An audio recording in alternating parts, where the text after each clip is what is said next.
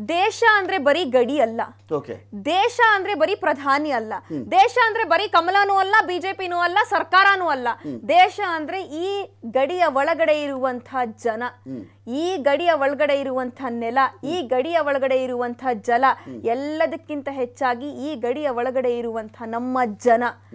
ಅತ್ಯಧಿಕವಾಗಿ ಜನಸಾಮಾನ್ಯರು ಅಂದ್ರೆ ಸಾಮಾನ್ಯ ವರ್ಗದವರು ಬಡತನ ರೇಖೆಗಿಂತ ಕಡಿಮೆ ಇರುವಂತಹ ಈ ದೇಶದಲ್ಲಿ ಒಂದು ಹೊತ್ತಿನ ಊಟವನ್ನ ನೆಮ್ಮದಿಯಾಗಿ ತಿನ್ನುವ ಪರಿಸ್ಥಿತಿ ಎಲ್ರಿಗೂ ಯಾವಾಗ ಬರುತ್ತೋ ಮೂರ್ ಹೊತ್ತು ಊಟ ಮಾಡಿ ಒಳ್ಳೆ ವಿದ್ಯಾಭ್ಯಾಸ ತಗೊಂಡು ನೆಮ್ಮದಿಯ ಒಂದು ಸೂರಲ್ಲಿ ನಿದ್ರೆ ಮಾಡುವಂತಹ ಅವಕಾಶ ಬಿಲೋ ಪಾವರ್ಟಿ ಲೆವೆಲ್ ಇರುವವರಿಗೆ ಯಾವಾಗ ಬರುತ್ತೋ ಅವತ್ತು ಈ ದೇಶವನ್ನ ನೀವು ಉದ್ಧಾರ ಮಾಡಿದ್ರೆ ದೇಶ ಉದ್ಧಾರ ಮಾಡೋ ಬಗ್ಗೆ ಮಾತಾಡಿ. ಇಷ್ಟು ದಿನ ನೀವು ಬರೋದಿಕ್ಕೂ ಮುಂಚೆ ದೇಶ ಅಪಾಯದಲ್ಲಿ ಇರ್ಲಿಲ್ಲ. ನೀವು ಬರೋದಕ್ಕೆ ಮುಂಚೆ ಧರ್ಮ ಅಪಾಯದಲ್ಲಿ ಇರಲಿಲ್ಲ. ನೀವು ಬಂದ ಮೇಲೆ ಬಂದಿದೆ ಅಂದ್ರೆ ನೀವು ಸರಿ ಇಲ್ಲ ಸ್ವಾಮಿ ಬಿಜೆಪಿ ಅವರು. ಅದಕ್ಕೆ ಅಪಾಯ ಅಪಾಯ ಅಪಾಯ ಅಪಾಯ ಅಂತ ಹೇಳ್ಕೊಳ್ತಿದ್ದೀರಾ? ಒಂದ್ ನಾವ್ ಅರ್ಥ ಮಾಡ್ಕೊಳ್ಬೇಕು. ಇಲ್ಲಿ ಮುನಿರತ್ನ ಅವರು ಆಣೆ ಲಾಸ್ ಮಾಡಿದ್ರು ಅಂದ್ರೆ ನಜ್ಮಾ ಅವರೇ ಲಾಸ್ ಲಾಸ್ ಅಂತ ಬಂದ್ರೆ ಸ್ಟೇಟಲ್ಲಿ ನಾವು ಗಮನಿಸ್ತಿರೋ ಪ್ರಕಾರ ಈಗ ಆಗ್ಲ ದೊಡ್ಡ ಮಟ್ಟದಲ್ಲಿ ಕಾಂಗ್ರೆಸ್ಸಿಂದ ವಲಸೆ ಹೋಗಿ ಬಿ ಜೆ ಪಿಯನ್ನು ಸೇರ್ಕೊಂಡಾಯ್ತು. ಈಗಿನ ಪರಿಸ್ಥಿತಿ ಎಲೆಕ್ಷನ್ ಹತ್ತಿರ ಬರ್ತಿರುವಂತ ನಾನು ಕೇಳ್ತಾ. ಇದ್ದೀನಿ.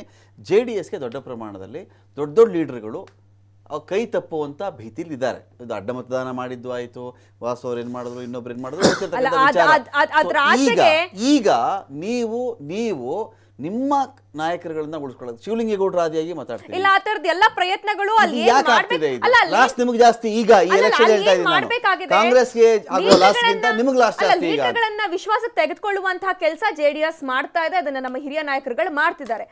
ಈಗ ನಾವು ಕಾರ್ಯಕರ್ತರ ಬಗ್ಗೆ ಮಾತಾಡ್ತಾ ಇದ್ದೀವಲ್ವಾ? ನಮಗೆ ಕಾರ್ಯಕರ್ತರು ಯಾಕೆ ಮುಖ್ಯ ಅಂತ ಹೇಳಿದ್ರೆ ನಮ್ಮ ಕಾರ್ಯಕರ್ತರು ನಮ್ಮ ಜೆಡಿಎಸ್ ಮತ್ತೆ ಕಾಂಗ್ರೆಸ್ ಜೊತೆಗೆ ಎಂ ಪಿ ಎಲೆಕ್ಷನ್ ಅಲ್ಲಿ ನಾವು ಸಮ್ಮಿಶ್ರ ಮಾಡ್ಕೊಂಡಿದ್ವಿ ಪ್ರೀ ಪೋಲ್ ಮಾಡ್ಕೊಂಡಿದ್ವಿ. ನಮ್ಮ ಕಾರ್ಯಕರ್ತರಿಗೆ ಆಣೆ ಮಾಡಿಸುವ ಅವಶ್ಯಕತೆ ಇಲ್ಲ. ಯಾವ ಮಟ್ಟಕ್ಕೆ ಅಂತ ಹೇಳಿದ್ರೆ ನಾವು ಕಾಲೇಜನ್ ಮಾಡ್ಕೊಂಡಿದ್ರು ಏ ಕಾಲೇಜನ್ ಆಗಿದ್ರು ಅವ್ರು ನಮ್ಮ ಬದ್ಧ ವೈರಿಗಳೇನೆ.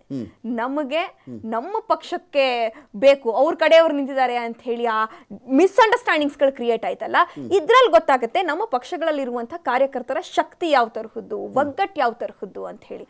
ಅಲ್ಲಿ ಮುನಿರತ್ನ. ಮುನಿರತ್ನ ಅವ್ರ ಬಗ್ಗೆ ನಾನು ಮಾತಾಡ್ತೀನಿ. ಮುನಿರತ್ನ ಮುನಿರತ್ನ ಅಂತ ಹೇಳ್ತಾ ಇದ್ರಿ. ಮುನಿರತ್ನ ಕಾಂಗ್ರೆಸ್ ಅಲ್ಲಿ ಇದ್ದಾಗ ಏನೆಲ್ಲ ಅನಾಚಾರಗಳು ಮಾಡಿದ್ರು? ತುಳಸಿ ಮುನಿರಾಜು ಅವತ್ತು ಬಿಜೆಪಿ ಅಭ್ಯರ್ಥಿ ಆಗಿದ್ದವರು ಯಾವೆಲ್ಲ ಕೇಸ್ಗಳನ್ನ ಹಾಕಿದ್ರು? ಇವತ್ತು ಕೇಸ್ ನಡೀತಾ ಇದೆ. ಇವತ್ತಿಗೂ ಕೇಸ್ ನಡೀತಾ ಇದೆ.